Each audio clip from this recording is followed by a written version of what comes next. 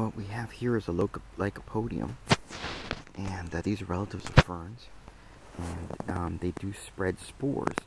And if I'm lucky, I might be able to see that on this particular plant. It's hard to see on that one. I'll have better look on one of these.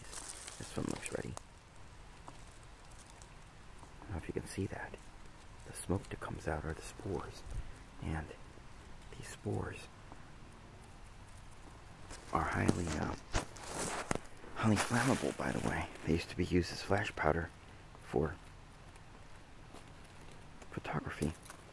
Again, these other ones are still green, but hopefully you got a little taste of it and how these things are spread. And then they, of course, spread and will form a nice carpet along the forest floor. Again, this is one of lycopodiums. Uh, sometimes they call them creeping, uh, creeping eye, uh, creeping um, junipers or ground ivies, princess pines. There's some that have specific names, but others are applied commonly across the whole gambit. And those little candelabras are what hold the spores, as I've just demonstrated, are what pop and spread smoke. Uh, smoke are the spores, and it's highly flammable.